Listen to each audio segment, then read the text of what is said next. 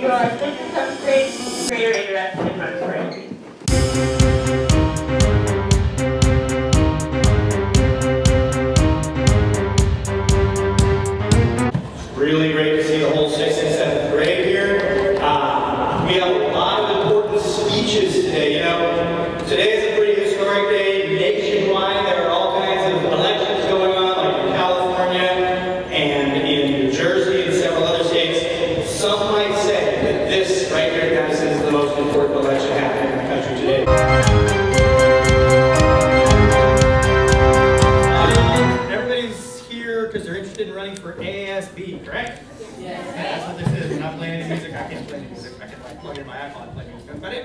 So we're here to talk about ASB and the ASB elections. ASB election season is kicking off today with uh, applications and paperwork and stuff like that. If you're interested in being on ASB next year, then you're in the right place.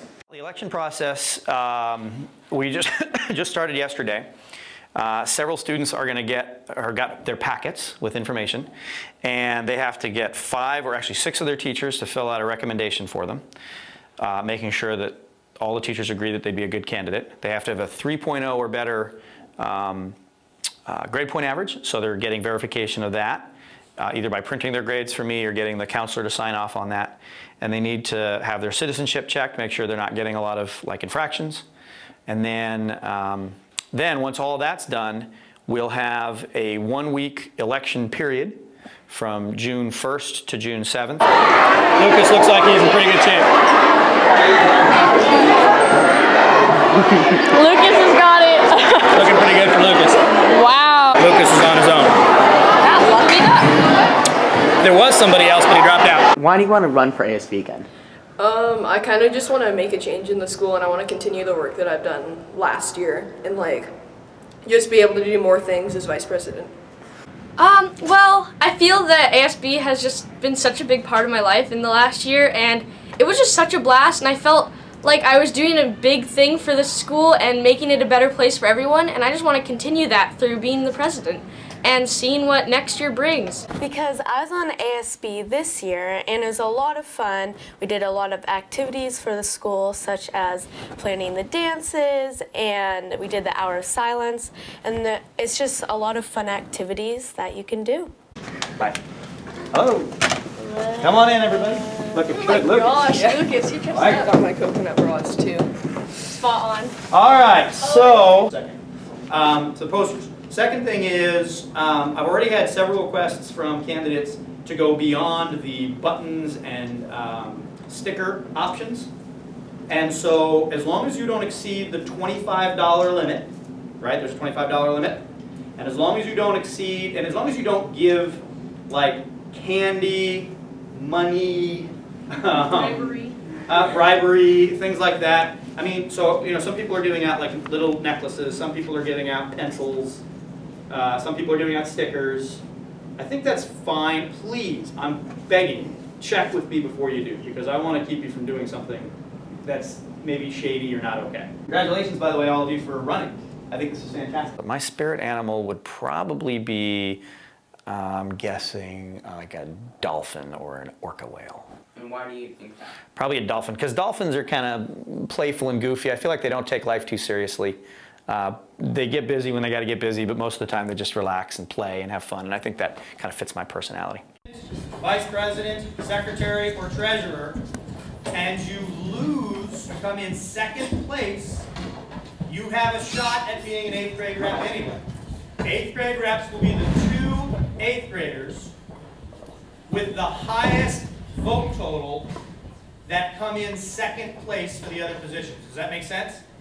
So it could potentially be whoever wins, there's, somebody wins the presidency, whoever comes in second for presidency, if he or she has the highest vote total among those eighth graders who did not win, then that person will become an eighth grade rep. The two top vote getters among the second place positions. Does that make sense? That's how you become an eighth grade rep. We will take two of those next year. Seventh grade reps, we're going from four to six. We had four this year, next year we'll have six. It'll simply be among the sixth graders who run, there's a lot of you in here today, those of you that decide to actually run for office, whichever six get the highest vote totals, they will be the sixth grade, or the seventh grade reps next year.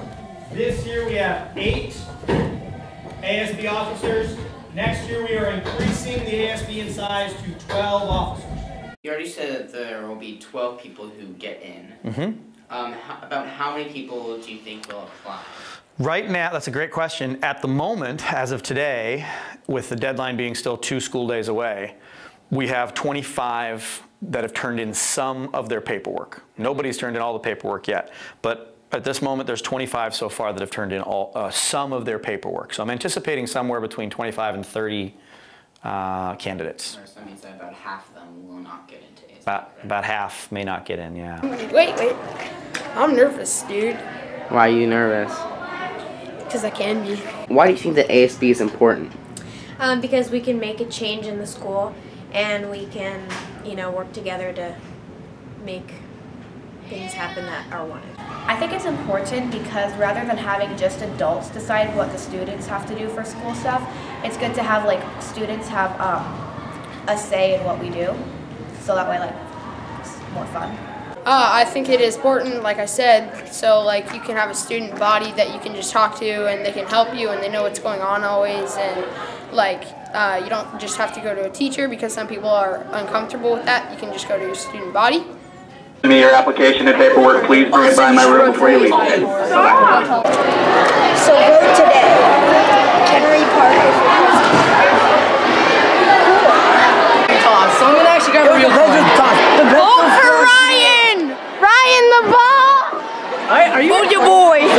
Are you Ryan? And uh, what do you think are some obstacles that might get in your way of being a good student body officer? Uh, maybe like kids suggesting suggesting to do like different stuff and like me not being able to do them and like and then them like sort of getting like you know mad at me. I think grades mainly because you might think like a lot of students will think oh ASB is really fun and it is. Like it is when you run for it and sing all this stuff. But I think like you students will pay kind of more attention to that and like oh yeah I can't wait for to plan this choice activity or this assembly and kind of I guess push away grades. Um, the the teachers what they're gonna say about some of my ideas and about, might be a little bit crazy, but yeah. And how do you think you will overcome those obstacles? have a make a deal with them, have a compromise. Yeah. For what? President. President? I'll vote for you. Who are some leaders in the school? Um, the president, the vice president, all the people that are in a higher place than me, and the teachers, and all the adults in this school. Oh, right. Yes. Okay, so Mr. Gersten and Mr. Batham are pretty great because Mr. Batham's like an amazing teacher. And Mr. Batham was right there. And he's like, um, and he always like gets Madison involved in like new music things. Um, and Mr. Gersten, like he does web and ASB, and he's like a good computer tech teacher in general. So like, yeah, I think he's. They, they are both big role models. Can it be an eighth grade student now? Yeah. Okay, so Nathan Maya Moreno, in my opinion, is a very good leader because of many reasons. He's a great cello player too. Yeah, so when I was in sixth grade, I went into senior orchestra in the beginning of the year, and I was like really freaked out because I didn't know anyone, and she just started talking to me, and I was really surprised, and it was really nice. She was really kind, and then she went on to become a web leader, which is awesome because she's a really good web leader, and yeah, she's just a really good person, good leader.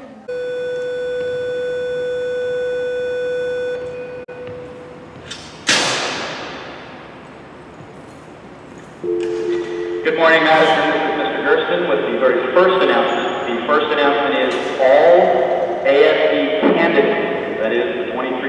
running for office, please report to the gym right now with your speech. If you are running for office, please come to the gym right now with your speech.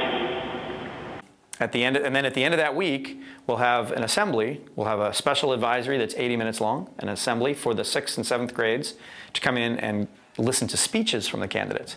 And then those candidates will uh, give their speeches. They have to be no more than two minutes long, and then everybody will hustle back to their uh, advisory classes and fill out ballots. And then there'll be a group of three or four adults during the day who will count up all the ballots. And at the end of the day, we'll announce who won. So that's the basic process.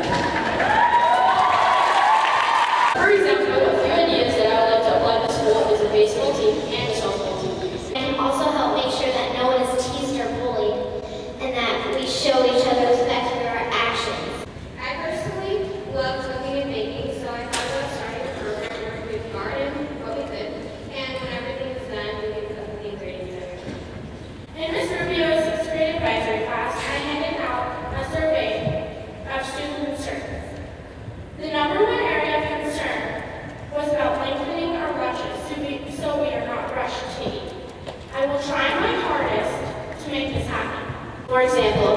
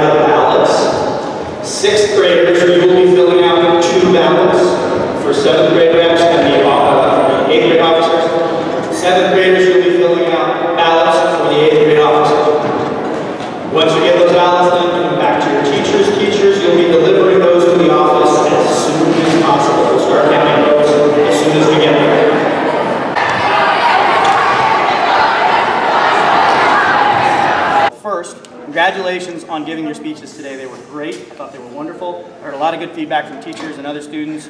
You did it, and I know that that's the scary part to get up and do the speeches, but you all did it, every one The other thing is, the worst part of this whole thing for me personally is that you can't all win. That sucks. I hate that. If it were up to me, I would love to take all 23 of you and just run a class with all 23 of you because every one of you deserves it. You deserve it for two reasons. One is now that I've met you all, you all deserve it on your own merits. I, I, I know some of you and the rest of you have met and I can tell every one of you would be a good leader. So I want you to know that, that I really feel that.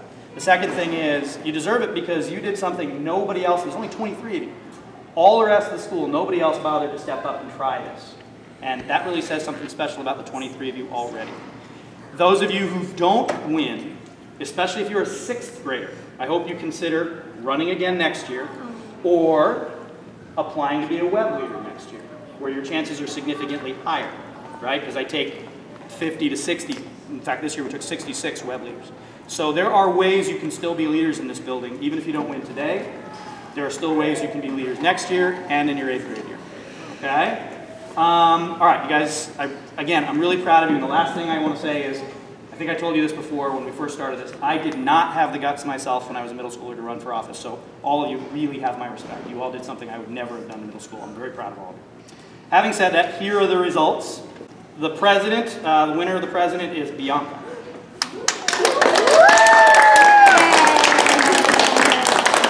Vice President, Lucas Fredericks. I had no idea. I didn't know you'd win. Good Yeah, job. Somebody else got two votes, but he got the rest. Uh, Secretary, of course, is Gavin, who's not here. Uh, treasurer, in what was a very close vote, was uh, Ellie.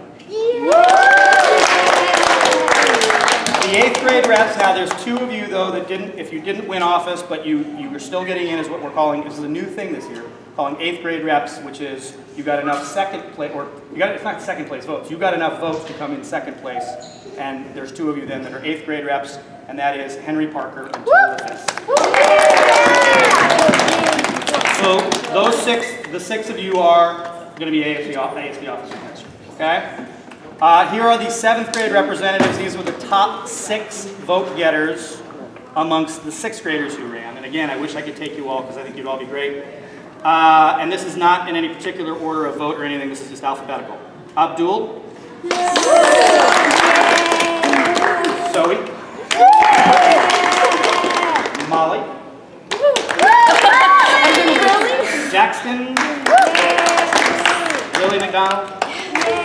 And Maya Miller. literally everybody that I voted So, you guys did great. Again, for those of you who didn't win, you there was nobody here who got anything fewer than I think like 60 votes or something. A lot of you, even if you didn't win, you got lots of votes, every one of you. So give yourselves a hand for running. All of you out there got a lot of respect from your uh, speeches because a lot of people voted for you. Uh, you obviously all have a lot of friends that voted for you, which is great too. Uh, and I'm really excited to work with you guys next year. What is your spirit animal? The animal that represents you. That's a really hard question, but uh,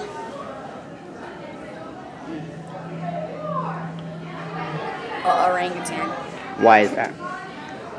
Because I think I look like one. I think I act like one. I think, um, yeah, I think I'm as smart as one. Wait, does that mean I'm dumb? A monkey. And why is that? a monkey because, first of all, I love monkeys. Second of all, people have told me I look like a monkey, which I don't take offensively because I love monkeys.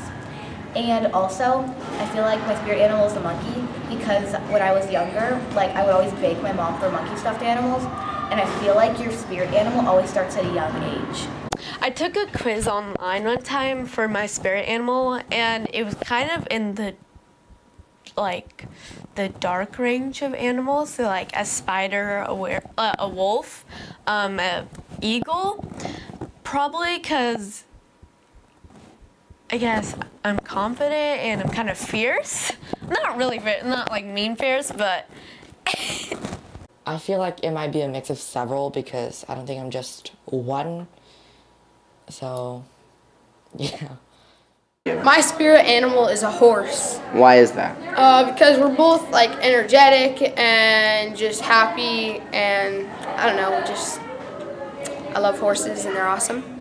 Probably a narwhal because they're kind of strange, but they have friends and they're able to be cool. They're just cool. I think it's like hardly a dolphin because dolphins are like um, smart and then they always stick together and I stick together with those people, my friends. And um, yes, that is, and also a unicorn because they like they always they're like they're unicorns are good. So yeah. Um, a dog, bulldogs. And why do you think that is? Uh, because they're fun, I guess. An eagle, because it just represents so much, and I feel like fright, flight just shows freedom, and the, the sky is the highest of the world, and that just shows so much leadership and so much power, and I feel like, but without being controlling, the eagle is without controlling everyone, they still show leadership and are amazing people. Maybe a sloth. Why do you think that is? Because sometimes I'm slow in the main mind the brain.